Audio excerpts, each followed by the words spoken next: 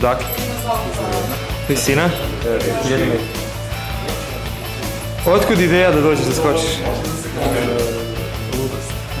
Jesi, sta, jesi stalno, jesi od uvijek htio da, da skačeš ili si negdje vidio to na televiziji kao, e sad bi... Želim da letim i da skačem, ali sad, sad sam došao do toga da ću stvariti taj jedan.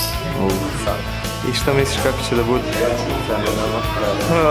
Vidit Vidiš.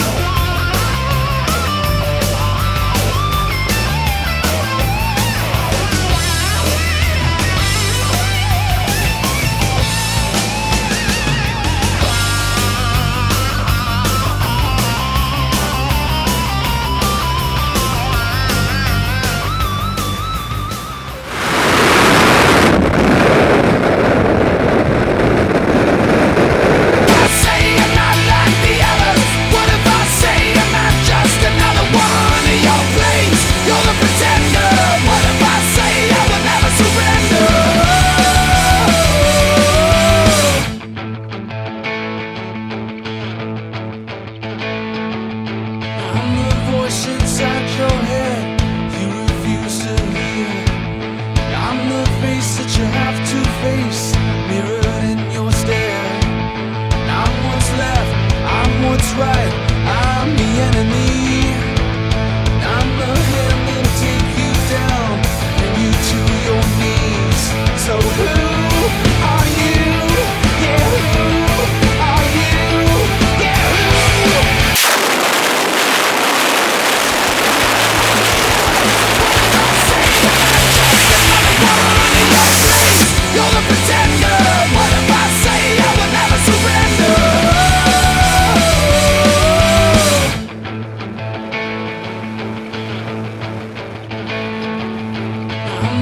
ocean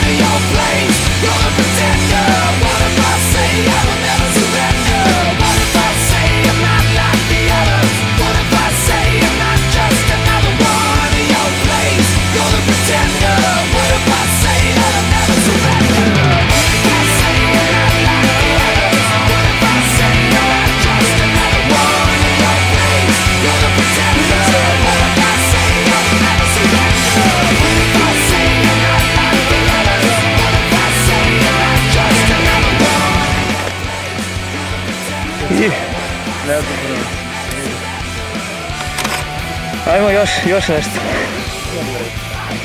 Sad ne možeš, a? Sad. Bio si super. Odličan si bio svaki čas. Jel vredi?